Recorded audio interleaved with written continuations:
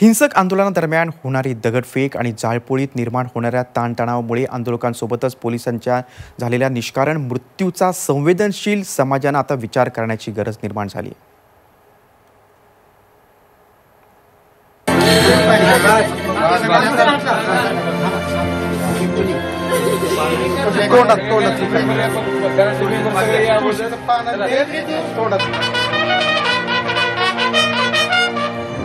आहे उस्मानाबादचे police constable Shyam Katgaonkar यांना औरंगाबाद जिल्ह्यातल्या कायगाव इथं बंदोबस्तासाठी पाठवण्यात आलं होतं.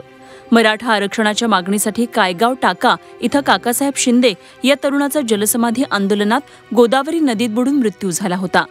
त्या तरुणाच्या अंत्यविधीनंतर संतप्त जमावानं पोलिसांवर दगडफेक केली होती.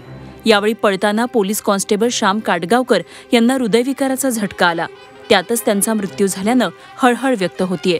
त्या कर्मचाऱ्याचा जो मृत्यू झालेला आहे त्याच्यामुळे त्याच्या परिवारावर ही घटना घडलेली आहे. त्याच्यामुळे समाजाने थोडा विचार केला पाहिजे की बाबा असे हाकनाक बळी गेले नाही पाहिजे पोलिसांचे. किंवा त्यांच्या पश्चामध्ये त्या त्या पश्चात त्यांच्या कुटुंबाला जे सहन करावं लागणार आहे ते काय चांगली बाब नाही उस्मानाबाद शहरातल्या सांजा चौक परिसरात श्याम काटगावकर यांचं घर असून एकोणीसशे नव्वदमध्ये ते पोलीस दलात भरती झाले.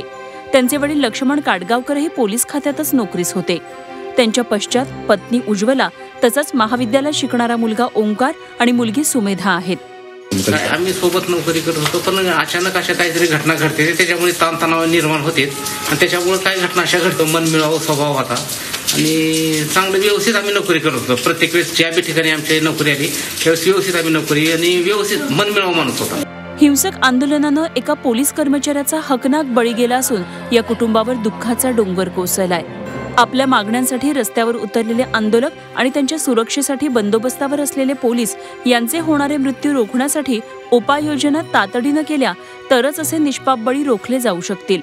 Mahesh पोद्दारसह bureau report Zee media Osmanabad.